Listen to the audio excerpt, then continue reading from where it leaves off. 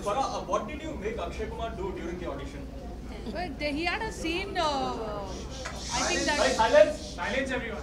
there was a scene written for the audition where uh, they are playing volleyball or they are playing basketball. There was a ball involved, I know. And Akshay was doing strange things with that ball also. And Mansoor sir, what made you reject it? because he was doing strange things with the ball. I'm so glad. I'm so glad Farah is my assistant. Yeah, yeah, of course he, he recollects. In fact, he always tells me, and he says, but I mean, he's, then he went on to be a leading man, and he got a. Uh, I mean, uh, so uh, I mean, uh, it worked out all right for him. So yes, but he does does remember it very vividly. Hi everybody, I'm Shahrukh Khan and uh, watch me only on facebook.com slash business of cinema.